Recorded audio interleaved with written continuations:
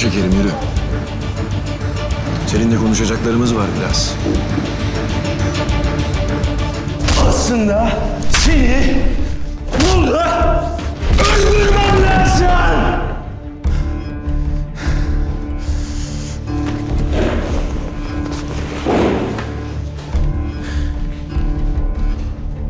Birincisi elim acıyor sana vurmaktan. O yüzden. İkincisi Babam senin yüzünden öldü. Sen hala hayattasın lan. Ha? Niye? niye? Çünkü ben öyle istiyorum diye. Anladın mı?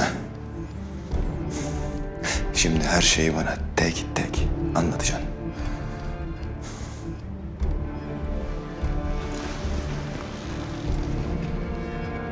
Anlatacaksın mı koruma? Anlatacağım lan bana bak.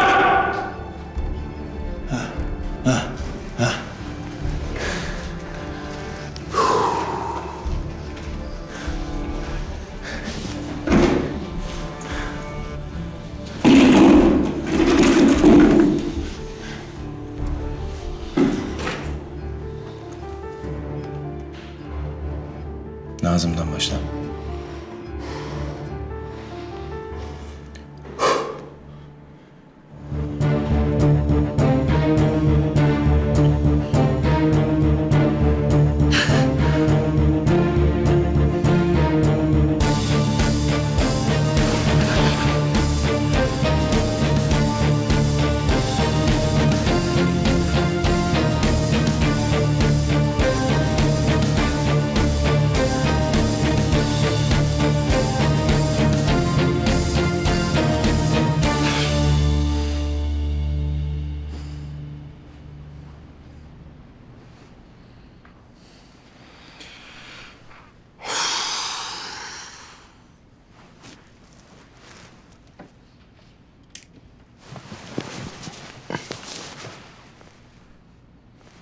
Sen manyak mısın? Ne yapıyorsun burada?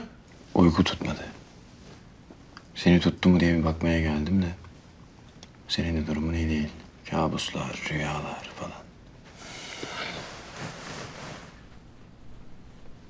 İyi başladın Nazım, iyi başladın da. Dikkatsizsin. Bir sürede bir koruman yok. Hatta birkaç saattir yok. Ve sen bunun farkında bile değilsin.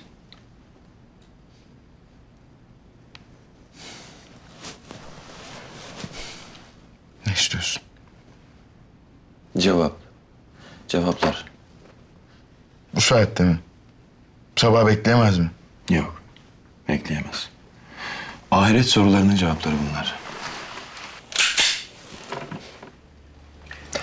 Eğer doğru söylemediğine karar verirsem sabaha göremeyeceksin.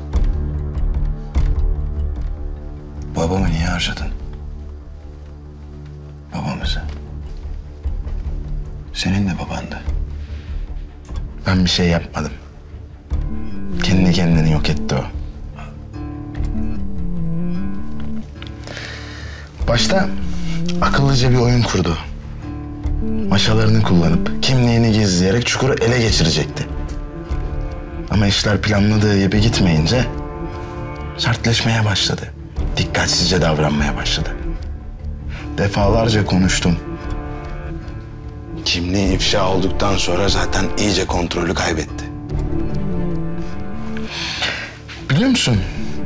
Beni bir çatışmanın ortasında sebepsiz yere bıraktı. Çekti gitti. Ölüyordum. Sana hiç böyle bir şey yaptı mı? Hı? Tabii. Paspas oldum ben çünkü. Harcanabilir olan. Seni hep cebinde tuttu. Hepimiz onun oyununda birer piyonduk sadece. O gece beni onca silahlı adamın arasında bırakıp gittiği o ana kadar ona hep inandım. Beni oğlu olarak görecek diye hep inandım. Ama o gün bitti. Birlikte büyüdün. Sen de bilirsin onun içindeki o babadan çok acımasız adamı.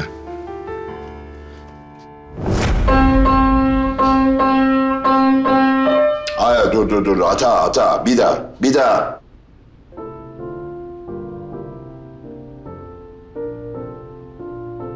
Bir daha.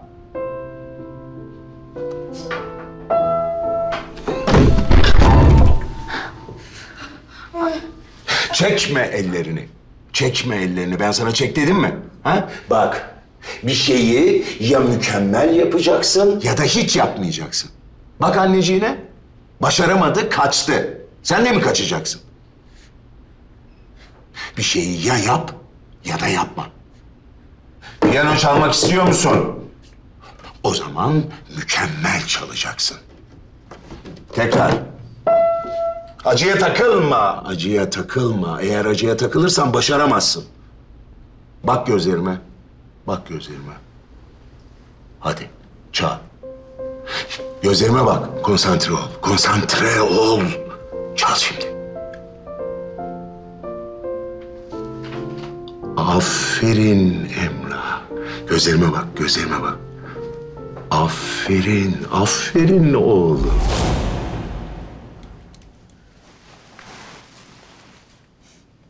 Ne zaman buldu seni? Kaç yıl sonra? Sen bir şey olduktan sonra değil mi?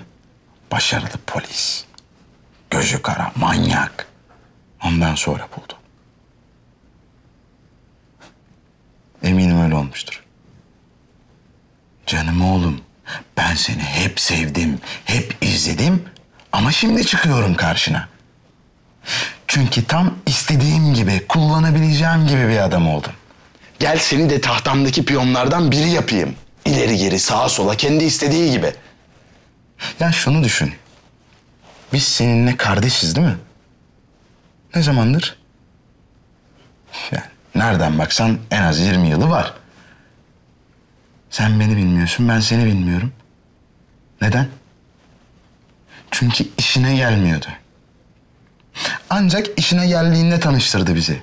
Çünkü ikimize de ihtiyacı vardı. Öldürmen gerekmiyordu. Yaşasaydı ona söylerdin.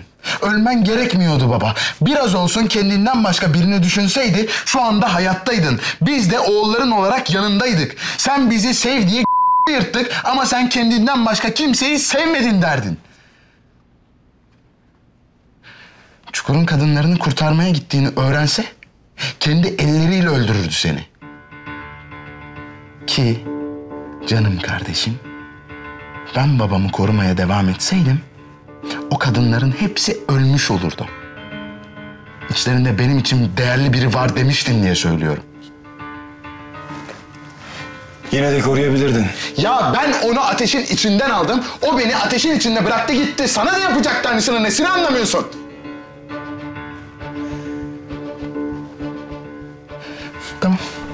Çek vur. Vur ne yapacaksan yap işte savunmasızım. Ama şunu unutma. Eğer intikam istiyorsan o ben değilim. Yamaç, Bartolo, Selim, İdris, Koçovalılar.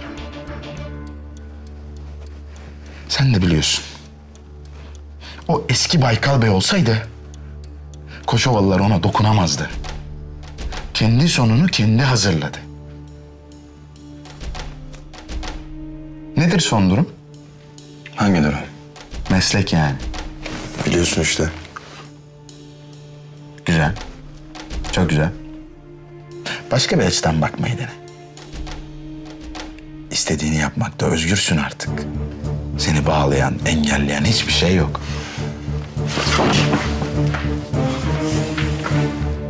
Harcayamayacağın kadar çok paran da var.